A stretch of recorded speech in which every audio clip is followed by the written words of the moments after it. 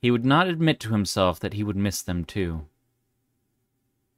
He would ice over the hole in his heart.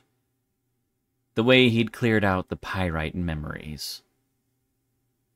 Ahead were his parents and Queen Glacier, and he would need to be perfect again before he faced them. The Ice Kingdom was waiting for him.